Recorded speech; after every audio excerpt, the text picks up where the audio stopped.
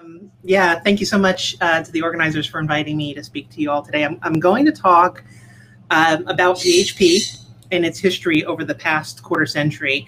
Uh, but if you've ever seen a talk that I've given before, you know I'm going to do it in a very roundabout way.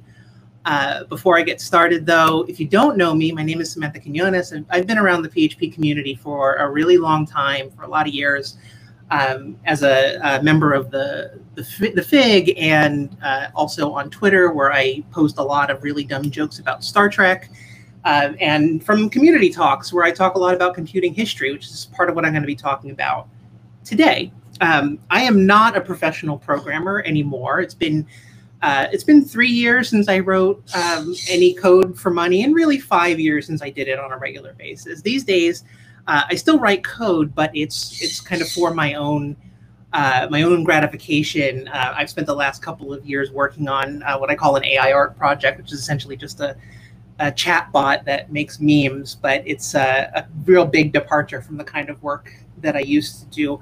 Uh, but I was a professional programmer for 20 years, and I still work with programmers. I manage them now, but it's since I became a hobbyist again that I really gained the perspective that I kind of needed to give this talk. So I'm going to talk to you about how and why PHP came to dominate web development and why it still drives so much of the content on the web and how it is, in my opinion, a, a programming language that best embraces the concept of pragmatic optimism. So to understand where PHP came from, we have to talk about the history of computers. To start with, to understand the history of computers, we have to talk about math. And I promise I'll start with something really simple.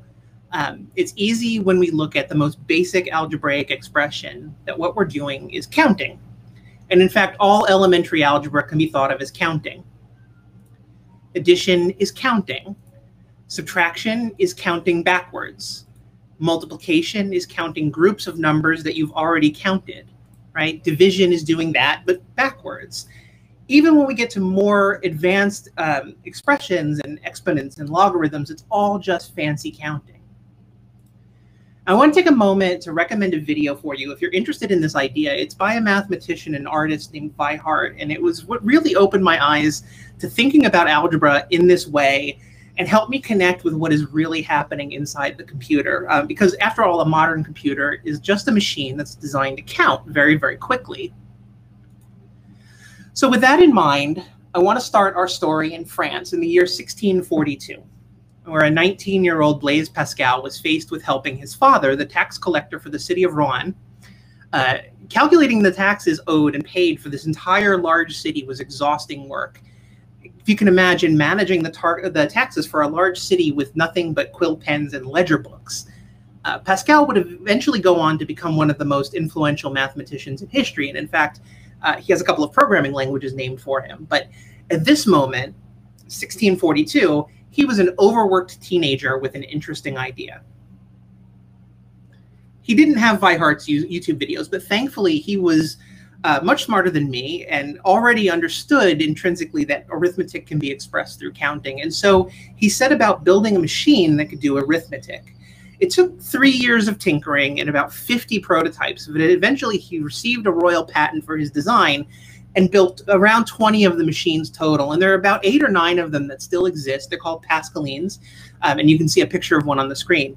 Um, this is a mechanical computer uh, that can add numbers and uh, by rotating drums and uh, using weighted levers to do carries. It's actually very hard to, um, to describe how this machine works.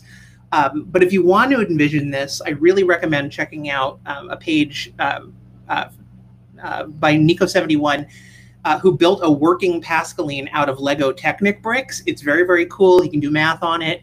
Uh, it's a really interesting video and really um, helps to illustrate exactly how complex this machine works. You can even see on the screen all of these tiny little gears and uh, and, and flyweights and, and, and levers. Half a century after Blaise Pascal, uh, a fellow named Gottfried Wilhelm Leibniz, you see on the screen, uh, who's a philosopher and a mathematician, encountered an ancient Chinese book called the I Ching. And Leibniz had spent a lot of his academic career studying the concept of symbolic thought. um, which was he very uh, much put at the the crossroads between philosophy and math and math. And the, this is the idea that logic um, can be broken down into computations. Early in his life, he had uh, done a lot of work to document and refine uh, the base two number system, the binary system. He did develop or discover it, but he did a lot of work to um, help uh, mathematicians understand it. And later in his life, he would also develop mechanical calculators um, although these were very different in design, uh, and they were capable of all of the elementary arithmetical arithmetic operations, not just addition. Uh, he also designed theoretical machines uh, that were never built, but that were capable of even more complex math, uh, including one that could do integrations, which he called the calculus ratiocinator, which I think is an amazing name. Uh, Leibniz had laid a good deal of the groundwork that Ada Lovelace and Charles, Charles Babbage would expand on in the following century. So Babbage was a mathematician and engineer. He spent a lot of his career theorizing and then later building mechanical computers. Um, he had developed a prototype uh, difference engine that was also capable of any arithmetic function, but it was specifically designed to compute polynomials. So you can kind of see this progression uh, of arithmetic from counting to basic algebra to, um, to, to computing polynomials, right? So he followed this work with a more theoretical design, which was actually never built, um, but he called it the analytical engine. And this was the first uh, design for a general purpose computer. When I say general purpose computer, I mean a computer that is capable of executing programs, right? It's not purpose built to do one thing, but it can theoretically run any program. So, you know, Alan Turing wouldn't be born for another 80 years, uh, but the concept of, of a language being a machine being Turing complete applies. And the analytical, analytical engine that uh, Babbage designed, uh, had he ever built it, would be Turing complete. Now, Ada Lovelace was um, a contemporary mathematician at the same time. She and Babbage had corresponded for many, many years. And in 1842, she was hired to translate a lecture that Charles Babbage had given on the analytical engine, which had only been transcribed in French, and she was hired to, tra to translate it to English. And along with her English translation, she included a number of notes and appendices. And uh, among these, the 13th one was an algorithm for computing Bernoulli's numbers using the difference engine, or the analytical engine, rather. And, and this was the first, so far as we know, exam- an example of an algorithm that was designed for execution on a particular piece of general purpose computing hardware, which is a very long and roundabout way of saying it was software. It was the first piece of software ever written, as far as we know. The last piece of the puzzle that we need to put together is computing theory. So there were tons of people who made huge contributions to this um, throughout the early part of the 20th century. Herman Hollerith, who developed the punch card tabulator, uh, he went on to found IBM. Howard Aiken, who designed the Harvard Mark I, which is one of the, the first practical electronic computers. And it's the computer on which uh, Grace Hopper uh, would develop the A0 code linker, which was, um, was not itself a compiler, but led directly to her later innovation of, uh, of a compiler. Um, Konrad Zuse and John von Neumann uh, both collaborated with and were inspired by the next person I'm going to talk about to develop kind of higher level models of computation, ways of thinking about computation that now we're, we're not limited to mathematical uh, computations.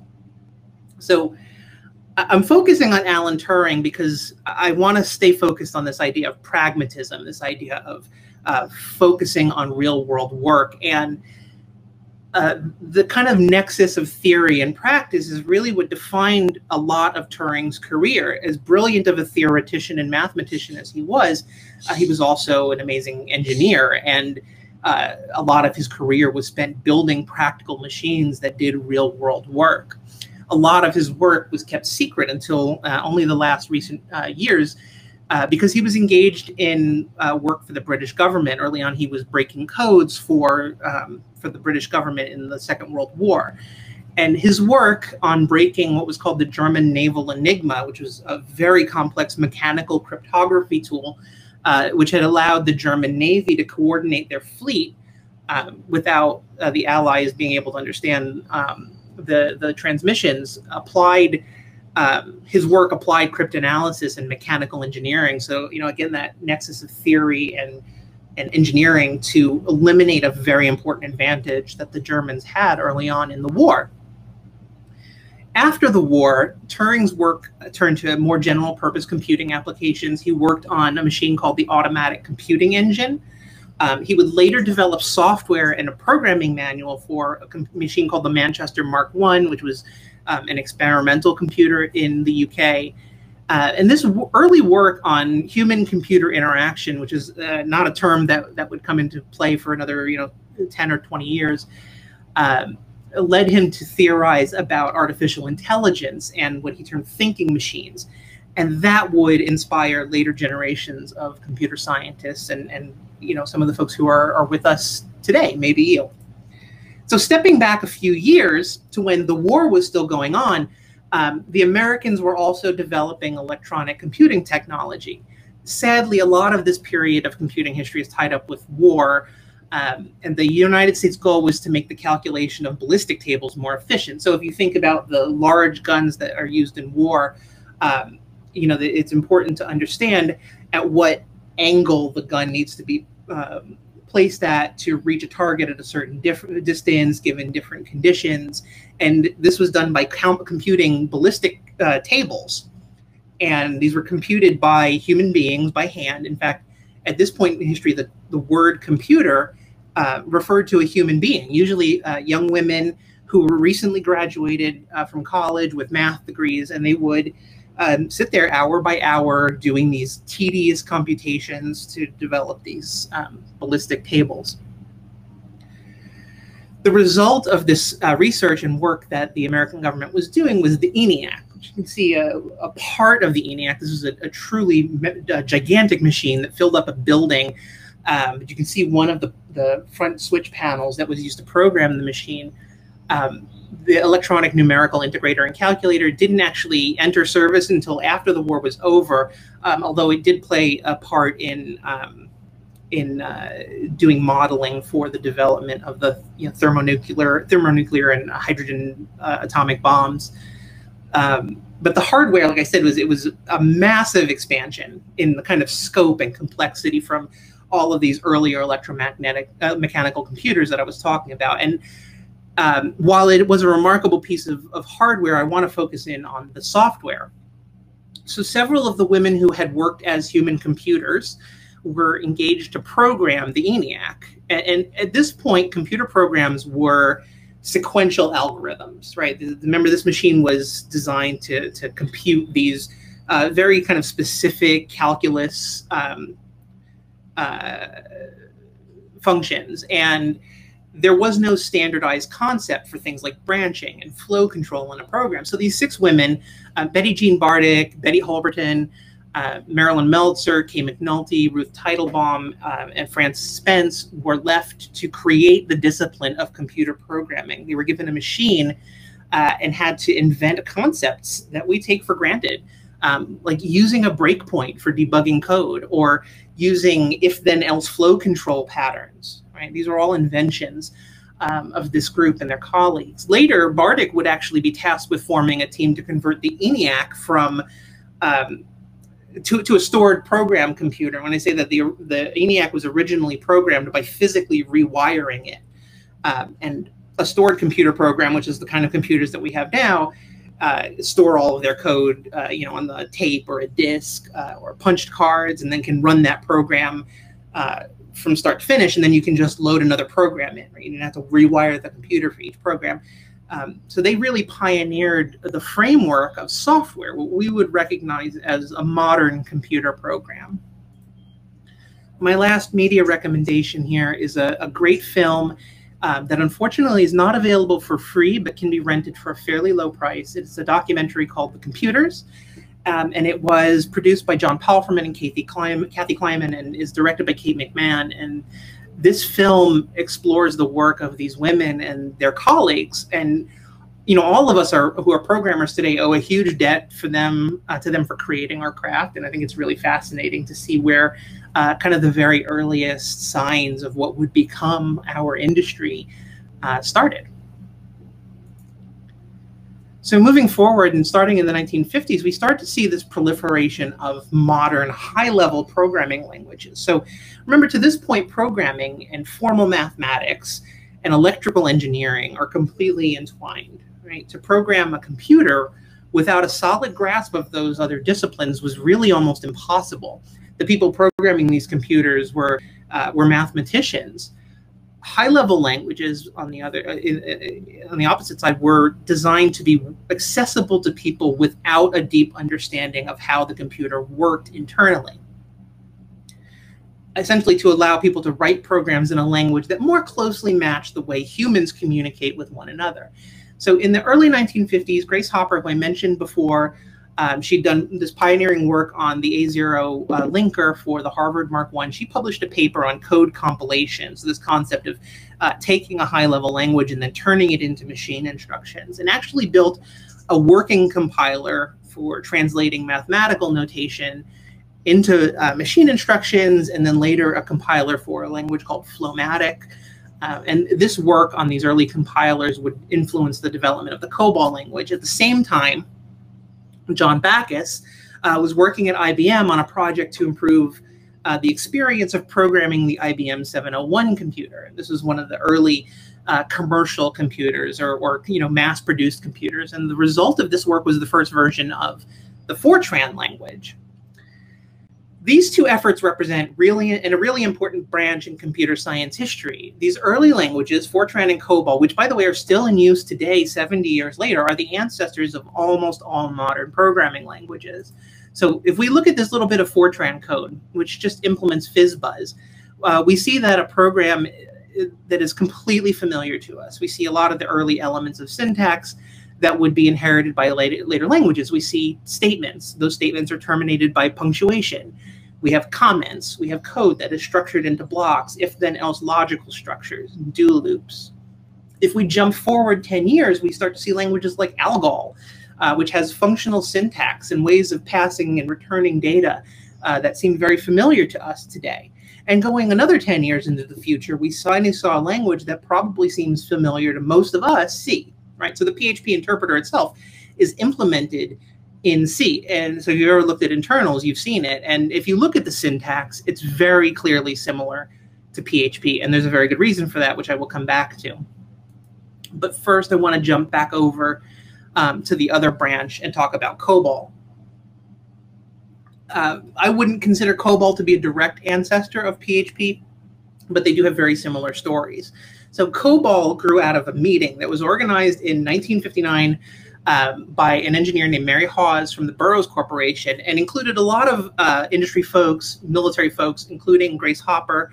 And the idea here was to create a language that resembled English and would allow non mathematicians to create programs to execute business logic. And that's the important word business logic. We still use it today. Um, COBOL put programming into the hands of people who were less interested in the computer itself, the hardware, but rather applications, right? Software developers who could ignore the hardware and could, in fact, write one set of source code that could theoretically be compiled and run on many different types of hardware, although that didn't become, you know, simple for, for quite a while. Um, COBOL allowed for the creation of the programmer analyst, right? Someone who approached business problems using computer technology as a tool, as a means to an end. And that's not a title that gets used very much anymore, although it still exists in the mainframe world. I was a programmer analyst early in my career. Uh, but I think it really does describe the kind of work that a lot of us still do to this day. If you remember the before time in the long, long ago when we used to travel on airplanes, you know, COBOL is the heart of that experience. COBOL um, calculates the routes and the logistics. It manages ticketing. It drives the terminals that gate agents use to assist passengers. You know, without these systems, modern air travel would be impossible, and to replace them would be an unfathomable investment. So, anytime you fly on a plane, praise COBOL. And likewise, the banking industry also adopted COBOL. Uh, COBOL manages uh, bank accounts and calculates interest. It settles transactions. It powers uh, bank teller terminals, both uh, you know the human human teller and the automated teller. So anytime you pay for something with a credit card, access your bank account, take uh, take cash out at an ATM, praise COBOL. COBOL, very much like PHP, was largely a victim of its own success. COBOL absolutely dominated the world of business mainframes into the into the 1970s and 80s. Um, it was accessible to lots of people. It was easy to learn, and it could be used to solve real business problems really quickly. Uh, if you needed the computer to sum up a ledger, apply a percentage-based adjustment, and settle those transactions out to accounts, COBOL would do that for you. In fact, COBOL this is a, a, a, technical detail and a tangent. You know, we have this trouble in modern languages where we want to express money and then apply percentages to it, which requires us to do floating point math, uh, which is inaccurate. So, you know, usually we multiply by 100 to take off the decimal point, do the math, and then convert back and forth. COBOL actually had a native uh, a native type for a binary coded decimal. Um, which allowed them to actually write code to do all of that work without worrying about floating point math. So uh, you know, COBOL allowed for programmer analysts, you know, these business people with tech skills to create sophisticated applications without having to understand computing theory. They didn't need to be electrical engineers. They didn't need to be mathematicians. And when you have, you know, big quotes, amateurs writing code who are more concerned with solving an immediate problem and less, or maybe not even at all concerned with writing good code, you get spaghetti. COBOL programs were were notorious for their uh, obnoxious variable names, control flows that were impossible to follow. Uh, I know looking through old COBOL code, it was not at all uncommon for us to print out uh, source code on green bar printer paper and lay it out on the floor and uh, take string and draw lines between things to try and understand flow control. Um, you know, they had sometimes indecipherable structure. They were brittle they broke easily. For those of you who are old enough and remember Y2K, you know, my one of my first jobs was fixing Y2K bugs um, in bank software, and you know, like there was a lot of power behind COBOL, but it definitely let you um, shoot yourself in the foot. If this sounds familiar at all, it's very much how people used to and still do talk about PHP. The greatest weakness of PHP and of COBOL is the same thing that made them strong uh, it, it gets out of your way. It lets you build an application that works. Now, it may not work well. It may be impossible to maintain. It may be fundamentally insecure, but it works. And working code can always be extended. It can be approved. It can be hardened. For any business that relies on computers, which I would say in, in 2021 is almost all businesses, um, working code, no matter how bad it is, is your most valuable asset.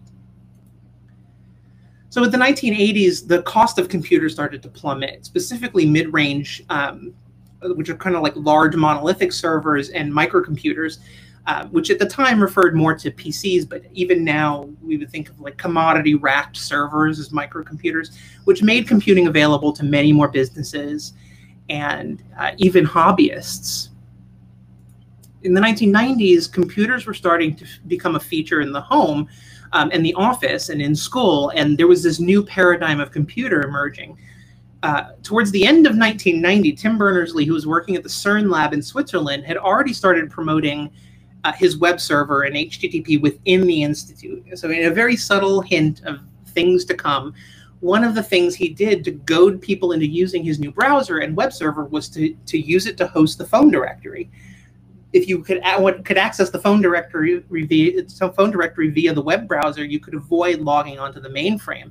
And you know, in 1990, logging onto a mainframe computer was not particularly simple. You either needed uh, a terminal that was directly wired uh, into the machine on your desk, or if you were using a PC, you needed special terminal emulation software. You might, depending on how things were set up, require a token ring adapter uh, to connect to the, the, coax token ring network that um, that drove the workstation. So it was it was not the most simple thing in the world. On August 6, 1991, uh, which was you know 30 years and a couple of weeks ago, Tim made his web server software, uh, CERN HTTPD, and browser available, and it created a revolution. There's very few technologies that have been embraced so quickly uh, and with so much so much excitement. Only a month later, uh, Louise Addis had uh, already ported the software to the VM CMS operating system, uh, which was the dominant IBM mainframe operating system at the time. And web servers started to come online at universities and research institutes. By 1994, uh, there were more than uh, 2,500 websites. And by 1995, that number had grown to more than 20,000. Some sites that would become household names like eBay and Amazon and Yahoo um, came online during this, this formative period. But it was very clear that the static early web of handwritten HTML documents was insufficient. Individuals uh, and companies were eager to create more dynamic experiences for their websites. And since the only real contract was that the client would make requests to the server using HTTP and the server would return you know HTML, the obvious solution to the problem was to generate the HTML on the fly in response to dynamic requests. This opened up more sophisticated channels for two-way communication. Not only could a website be used to radiate information outward to clients, they could also be used to collect information from clients um, through contact forms and through guest books. And you know, I mentioned that um, you know mainframes were still dominant, and actually, how I first started doing web programming was building uh, web gateways for mainframe applications. So you know, powering these new dynamic web pages wasn't simple we found ourselves kind of in that same position that I talked about before. People needing to solve real, real life, real world problems. Um, you know, like receiving contact information from a user, taking a customer's order. In my case, it was request automation. So, you know, a, a, an account executive needed to have a list of all the transactions that were on a credit card for a certain period of time. And to do that, they had to log into the mainframe and do all of this stuff. To build these kind of applications, you had to know how to program a computer. So there was this informal standard. It was started by folks at the NCSA, which is the National Center for Supercomputing Applications in the United States, um, all the way back in 1993 for what they called a gateway interface. So it was essentially a standard way of passing data into and out of a web server um, on the back end, so passing from a web server to some other program. Uh, this was later formalized under an RFC. It was um, the working uh, working group in 1997 uh, formalized CGI. This is uh, Rob uh, McCool and John Franks um, and Tony Sanders and George Phillips.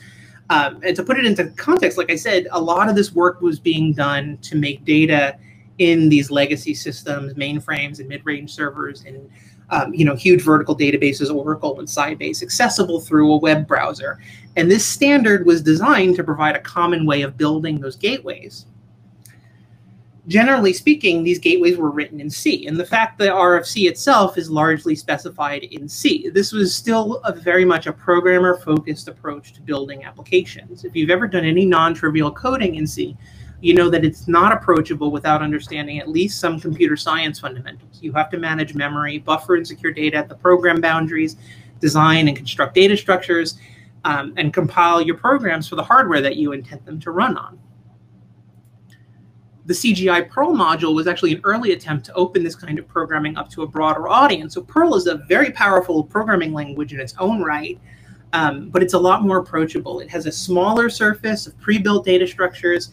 It manages memory. Um, you have pre-compiled language interpreters for lots of different hardware and operating systems.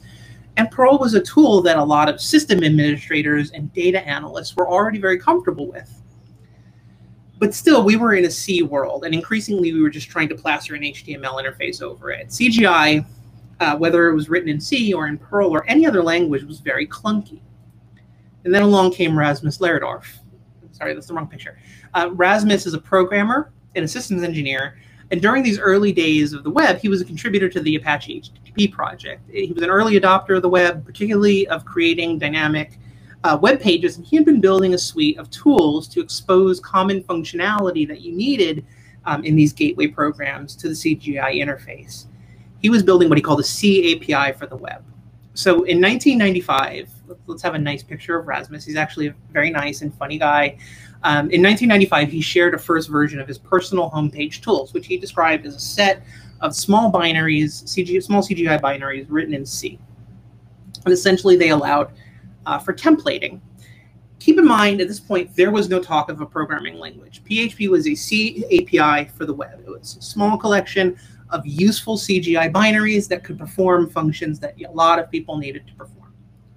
There was no thought that this would become a programming language. And we'll come back to that. First, let's look at the web at how a web application from a very perspe- very basic perspective. We have four principal concerns. We have the operating system, the web server, the business logic, and the data store. For any dynamic web application, you need to combine these four concerns together um, to solve some problem in the real world. And to accomplish this, uh, you know, we first receive a request in the form of a valid HTTP request. We then route that request at this point. This is going to route either to a static HTML file or in the case of um, CGI, we're talking a dynamic web application. So we're going to pass control over to a program. That program is going to execute. And thanks to the CGI specification, we know exactly what data is going to be passed into the program and how. You know, we have those environment variables that have the get and post and server variables, all that kind of stuff that we, we are familiar with as web, web uh, programmers. And then the program executes, it produces some kind of output Hopefully that's going to be valid HTML or at least some format that the client is expecting to receive. And then finally, the, the web server will return that output back to the client over the network, packaged up as a valid HTTP response. All of this works really great when you're hosting a single application on a server. But again, requiring a server uh, and a network connection, which requires a domain name and assigned IP address, all of these um, are far out of the hands of a typical person who wants to share something about themselves or run a small a small store. So when you think about personal home pages, you know this is not really directed at people who are, uh, you know, who are creating gateways for large legacy systems in a company. It's for people who are trying to build dynamic web pages for more personal reasons. Ideally, we would want to be able to share one server among uh, one server a bunch among a bunch of websites. It's really more efficient, right? You don't want to pay for a whole server um, that's just hosting one small website that gets, doesn't get a lot of traffic. And, and by hosting multiple servers on multiple sites on a server, it makes financial sense then uh, for the people who do own servers to just rent out little bits of it. So we, we, we see the, the development of web hosting. Here we run into a big problem though. If you're going to host web applications written in C, they will be fast uh, but they could have memory leaks um, because all of the websites are running under a single Apache server. Remember, this is before virtualization was a common thing, at least in the uh, microcomputer world. Uh, there was no way to make sure that one tenant didn't access data belonging to another tenant, that a crash didn't uh, cascade out of a website to other uh, tenants. We can use CGI.pm, which makes it a bit easier to host many sites on a single server without having to worry about memory and crashes but Perl is relatively slow to execute and it's hard to secure. Um, and again, everything's being run by the same user. And this is where we come to PHP and what made it really different. PHP provided three key features uh, that made it for the natural choice for hosting multiple websites in a single web server. It's robust, efficient, and secure. And I know what you're thinking. That sounds exactly the opposite of what everyone thinks about PHP, but, but stick with me. Perl CGI programs were very slow. Apache had to hand everything off to the Perl interpreter, which then started, executed, returned. Mod PHP, um, in, contrast, pulled PHP directly into the Apache server. For PHP, you pass control to a fork, it executes and then terminates. There is no shared memory, there is no stored state. It is a perfect sandbox. Eventually, a similar Apache mod for Perl would be released, but even then, you can see how the philosophical difference between PHP and something like Perl. Remember, Perl is trying to be um, a broad spectrum programming language, whereas PHP is being very pragmatic about solving one problem and then the next and the next. PHP implemented just enough of the Apache mod interface to handle HTTP requests. Remember, it's not a programming language at this point. It's a tool to expose C APIs to the web. So mod PHP sites were much safer and easier to keep secure because it was simpler. It's efficient because PHP only needed to be handed over to this fork. Apache didn't wait need to wait for an entire interpreter to spin up for each request. This allowed you to run more sites, serve them without requiring additional CPUs. And then uh, PHP was simply more secure. Again, everything is running on the same server under the same user. A memory leak or infinite loop could crash the whole thing.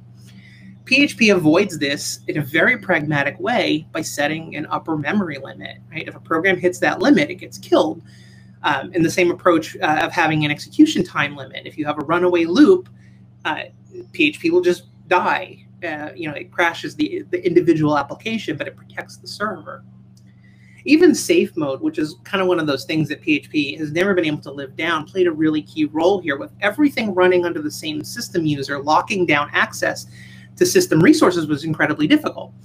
I won't argue that safe mode was a good solution, but it was a solution. So, you know, to hate on safe mode in the context that it was created is to kind of make fun of someone for blocking a door with a chair um, when the door doesn't have a lock. You know, safe mode allowed shared hosts to have some security against malicious code. It wasn't great, but it was certainly better than nothing.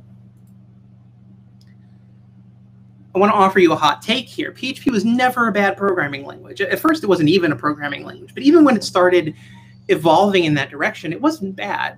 I want to walk through some of the most derided features of PHP and try to understand them in the context of the time they existed. So one of the things that people coming to PHP from other languages always point out is that PHP handles globals in a really weird way, and it does. You have this global statement where you explicitly mark a variable as a global, or you can put them in this special array um, that you know dollar globals, which looks exactly like all of those CGI data arrays, and you know it's complex. It's it's it's strange, right? In most languages, um, you know your variable scope is a matter of where the variable is declared, which is great, and it makes sense to almost everyone who's used to programming. But if you've ever been in the position of trying to find a global variable collision in a large and complex code base, it's kind of a nightmare.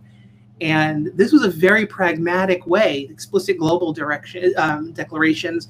It's a very pragmatic, pragmatic way to avoid accidentally defining a variable as global, right? So again, it's a, a pragmatic solution to a problem that may go against the grain of what is good or, or typical programming, um, but lets people get stuff done. And what about register globals? Speaking about about globals, this is another area where PHP's origins as a simple and approaching approachable templating system rather than a, a right programming language comes into play. If you have a field on your web page called name, you have a variable in your script called name. You know, it's, it's hard of us, hard for some of us who are programmers to really understand this. But for non-programmers, the, the two hardest hurdles to get over um, when learning to program are, are scope and assignment. Right. So if you're building a set of tools, simplify creating dynamic web pages, this really just makes sense. And you know, again, these were this was deprecated uh, uh, 10 years ago, so I don't know why we still talk about them. But when these were introduced, the web was a very different place. You know, JavaScript um, JavaScript was created the same year as PHP, but it was not much used until Firefox came out in 2004. And even then, it was a couple more years before it started being a really uh, common thing on the web. In the early days of PHP, there really was no cross-site scripting to worry about, so it was a less of a gamble uh, than it would eventually become. Okay, magic quotes were never a good idea. They probably did more to cement bad practices in new programmers uh, than they ever did to prevent SQL injection. Um, but uh, you know, again, they were a pragmatic solution a naive one to be sure, but a pragmatic solution to a real problem that the audience for PHP, more amateur programmers, um, would probably have ignored no matter what. And it probably did save uh, some sites from SQL injection at the, the cost of uh, embedding some pretty bad practices in folks that we had to uh, educate them out of later. Let's talk about types in PHP. Um, I, I, get heated about this. There's nothing inconsistent about PHP type, PHP's type system. It makes complete sense. It is well documented in the manual. You know, part of becoming proficient with a language is learning the types. With a strictly typed system, you have to learn lots of specific types. Uh, and with a weakly type system, you have to learn its type conversion table. If you can be expected to remember the difference between all of the C types and the aliases, um, you can remember how strings are cast to numbers uh, or you can look it up in in the manual right? It's it's completely consistent. If you i'm not i'm talking to the choir but um, you know experienced programmers can look at uh, like these statements that i have here on the left and you understand why they work the way that they work haters don't get this one php types are completely fine they're they're fine they're they're totally fine um, let's move on. F function names are not case sensitive, and probably they should be. But again, let's talk about context. PHP was used for templating, and we had not yet standard on standardized on lowercase for HTML. So it made a lot of sense uh, for people to be able to use the same standard for PHP as the HTML that it was embedded in. By the time there was really a standard in place, changing this would have been a compatibility nightmare. It would have broken, um, you know, hundreds or thousands of websites. And so now we're kind of stuck with it. You know, use PHP-CS, enforce a code standard. It's fine. People say that naming should be consistent, and sure, okay, Show me a language where that's the case. I've been doing this for 25 years. I've written production code in more than two dozen languages, and I'm not buying it.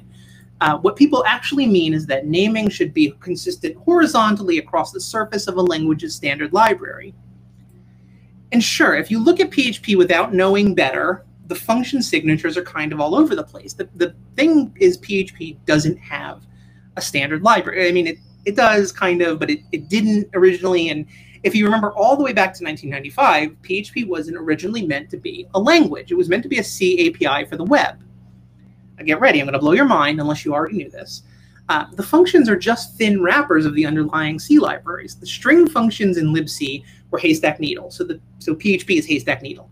The array functions were needle haystack, so the array functions in PHP are, are needle haystack. They're all perfectly consistent vertically down to the libraries that they're wrapping. And that goes across to the OCI 8 libraries for uh, accessing Oracle, the MySQL libraries. Uh, it doesn't matter what you're doing. PHP was just wrapping these C libraries in the early day. What I want to get to is this question of who PHP is for. And the web that PHP was born into was a very different place from today. You know, a company might have a website, but we were still years away from companies that are websites.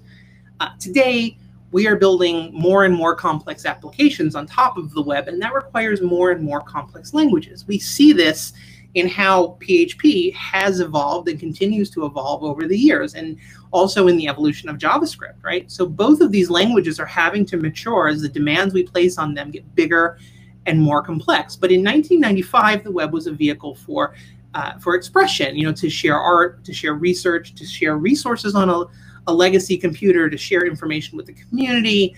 Um, it was used a lot by small businesses just to, to create a presence. PHP was a custom fit for the shared host of the 1990s. That's why WordPress and Drupal were written, written in PHP and not in C. It's why they continue to dominate the web even today in 2021. Um, two out of every websites on the planet are WordPress sites. If you only count sites that are driven by some kind of CMS, it's three out of five it's no coincidence that the same people who hate WordPress um, hate PHP and vice versa. I, won't pretend that they aren't rough tools, but they can be used to create incredible things or to hack something together that's good enough to solve a problem for the moment. PHP didn't start out as a programming language. Rasmus in 1995 would have looked at you cross-eyed if you suggested such a thing. He probably would still look at you cross-eyed if you suggested it now uh, PHP became a programming language as the people who were using it to solve problems found themselves evolving ever more complex ones. The problems evolved, and so the tool had to evolve. If you think about where we started in 1995, a set of CGI binaries, process forms, no real math functions, you couldn't write loops. It wasn't until the second major version that we had a set of, of basic complete flow control tools um, for version three, Zeev and Andi stepped in, created a real parser. We start to see something evolving into a simple programming language. Um, PHP 4 came with a brand new engine. I think this is the point where you can really consider PHP to be a programming language. Uh, eventually, you didn't even need to execute it from inside of a web request. Uh, at nine years old, we start to see PHP take the shape it would eventually take. It was, if PHP was the childhood phase and PHP 4 was the awkward teen years, you know, PHP 5 is when the show moves to college, right? PHP drives a cool car, wears a denim jacket, smokes cigarettes, right? PHP was something new. A year later, PHP finally got an abstraction layer over a lot of those C database libraries that were available. I mentioned OCI 8. Um, for accessing Oracle. There were libraries for Sybase and Informix, and um, you know they, they were a mess. And if you were trying to move from one database to another, um, your mind would crumple up inside of your skull uh, and hurt you. Um, and having something like PDO really uh, was an advancement for the language. we started to move past simple websites. JavaScript is becoming a real player. PHP uh, APIs rather are needed to handle asynchronous requests. Now we're 15, 15 years into its life. PHP was on the verge of a whole new evolution, right? PHP 6 was going to have real namespaces, closures, uh, better, better garbage collection, late static binding, Unicode support. Um, that last part didn't work out so well, but all of that other cool stuff became PHP 3. And then a few years later, PHP 5.4, which I personally consider the first good version, um, finally got rid of lots of ancient cruft like uh, Register Global, Safe Mode, you know, things that people are still talking about that have been gone now for almost 10 years. 5.5, we start to see influence from languages like Python. We get big uh, performance improvements the opcode caching and the Zend, optimizer go, go native. Uh, 5.6 continues to refine the type system. And then version 7 drops, which is built on a new engine. This is uh, a new version, much, much faster, better improvements to the type system, more performant. It has a real AST, which unlocks um, better developer tooling, you know, like uh, static analyzers. If you use um, PHP Psalm, PHP Stan, um, these were made possible by the improvements that came in version 7. And then each minor version in the 7.0 lineage added more and more improvements to the type system, more compiler optimizations, improvements to the op cache, all of which continue into the current generation.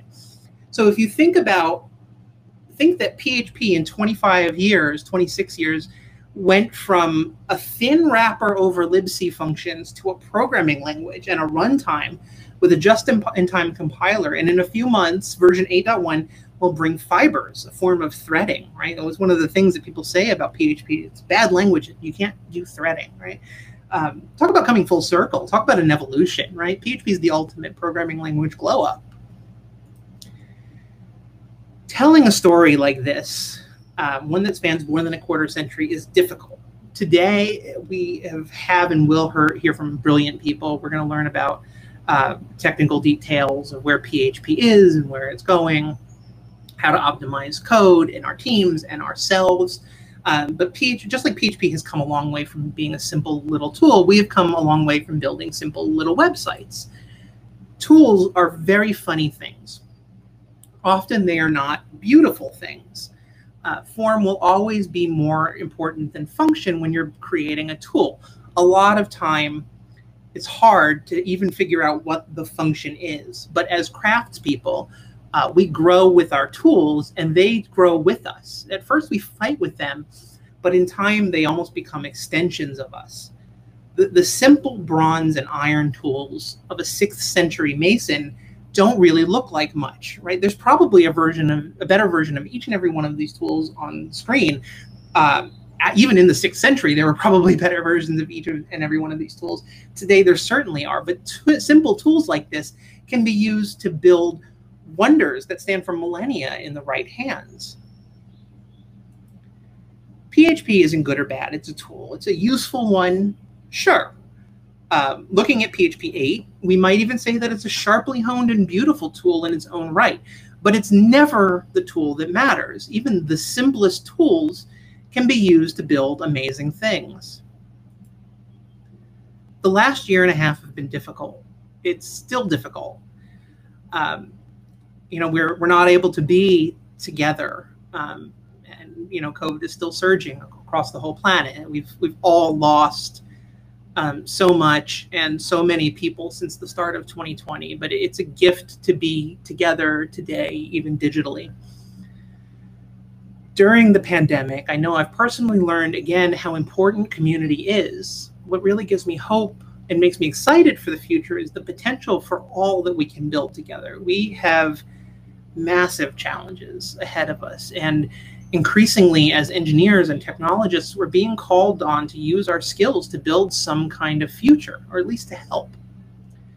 Technology has incredible power, and the impact that our work can have uh, for good or evil is profound. It, it's a time for us to consider what we're building and what it means for ourselves and for our communities and for our families uh, and for the folks that are going to come after us, I, I, want you to take from this example of what something like the PHP community is capable of. PHP Uh, you know, I've talked about Rasmus and Zeev and Andi, but there are uh, thousands of people who have contributed to the language and the ecosystem over the last 26 years. Um, PHP was created um, not by one or three people, but by by these thousands. You know, the hundreds of people who have committed to PHP, uh, SOR, the PHP interpreter itself, people who have documented it, written tutorials, written uh, reams and volumes of open source software, the entire ecosystem that surrounds it.